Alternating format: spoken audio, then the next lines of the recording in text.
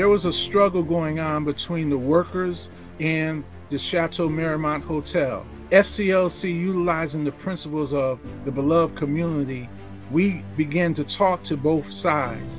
We found that all they needed to do was to begin to talk. The leadership of the hotel, Andre and Neil, along with Kurt Petersen, they came together and made a difference.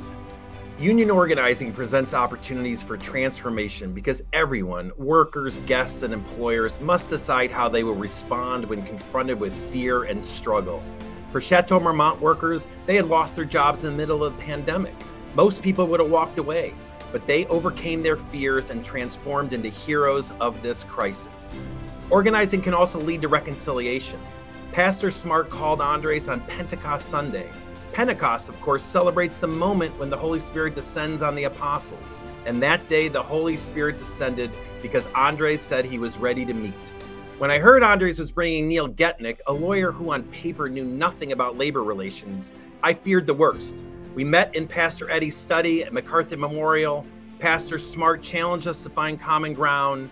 We talked about our shared work with the United Farm Workers, and Neil kept on saying that this would be a different relationship. Just wait and see. Hello, I'm Neil Getnick.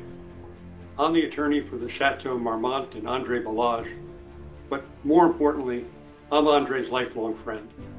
We were college classmates, and from that time until now, we've been working together on social justice projects that have filled our lives. On Pentecost Sunday, June 2022, Pastor Smart reached out again to Andre and said, please come to my offices, let's meet again. And by this point, he had come to realize that Pastor Smart was the CEO and president of the Southern Christian Leadership Conference of Southern California. And that was very meaningful to him because Andre and I, in the 90s, working on behalf of one of our college classmates, a Kenyan human rights activist, and fighter for democracy was freed as the result of our joint efforts together with the Reverend Jesse Jackson. So the SCLC was a very important part of our lives.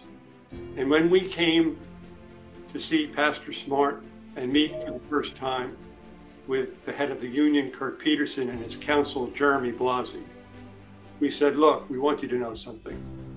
We're not here to tolerate or even accept the workers and their union supported efforts. We're here to embrace them. Let's work together. Let's make that happen. And in that dialogue, in that conversation, we realized that we had a shared background, shared values, a shared vision, and a shared mission. And we put our minds to work and we began to speak together since then, the Chateau has walked the walk.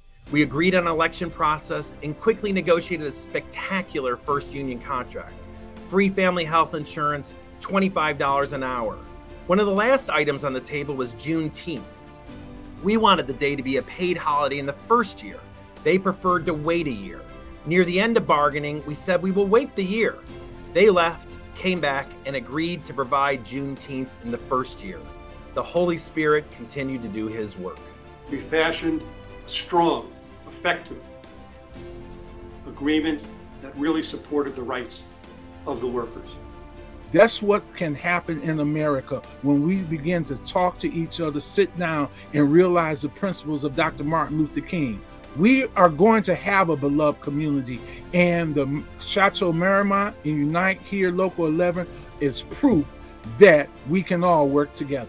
I want to thank SCLC of Southern California for sharing with us Pastor Smart, who delivered an invitation that we gratefully accepted, along with United 11, to become a part of the beloved community.